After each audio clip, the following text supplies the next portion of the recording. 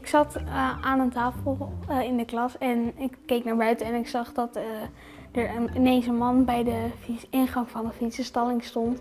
En toen dacht ik al van, ja, misschien is er hier wel iets niet helemaal goed. Het verhaal van Iris, Fien en Floor klinkt als een scène uit een spannende film. Als Iris ziet dat de fiets van Fien gestolen wordt, bedenkt ze zich geen moment en rent naar buiten. Iris, wat ga je doen? Nee, wc. Zonder jas en zonder schoenen, want schoenen doen de leerlingen hier altijd uit voordat ze de klas inkomen. Toen ging ik naar de rechteruitgang van de fietsenstalling en daar ging hij ook uit. En uh, toen zei ik tegen hem, geef mijn fiets terug. Misschien in de hoop dat hij hem misschien terug zou geven, maar het was mijn fiets niet. Toen uh, reed hij dus langs mij en toen rende ik erachteraan. Ook Fien en Floor krijgen door wat er aan de hand is en rennen ook op hun sokken naar buiten.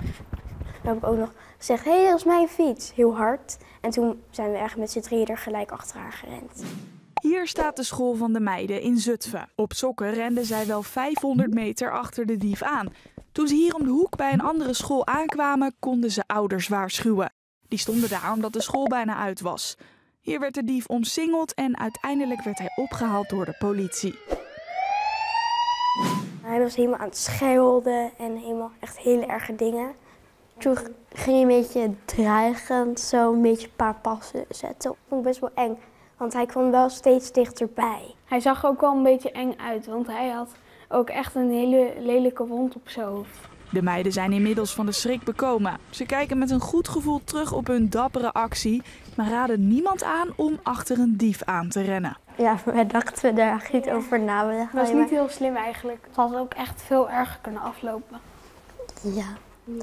En toen we terugkwamen, toen hadden we thee en koekjes ja. gekregen.